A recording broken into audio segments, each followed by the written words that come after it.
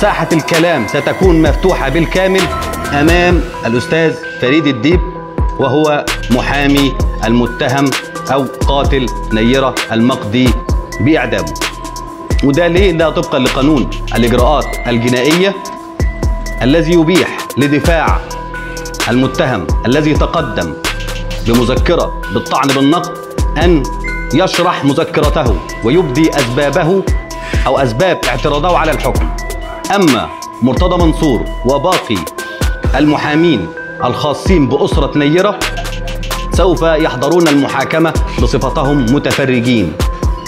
بصفتهم متفرجين لأنهم مدعين بالحق المدني. ليس لهم الحديث في صلب الدعوة. محكمة النقض خلال 60 يوم من امبارح بدأت من امبارح العد التنازلي من بدء صدور قرار أو حكم محكمة محكمة جناية المنصورة بمعاقبة المتهم محمد عادل.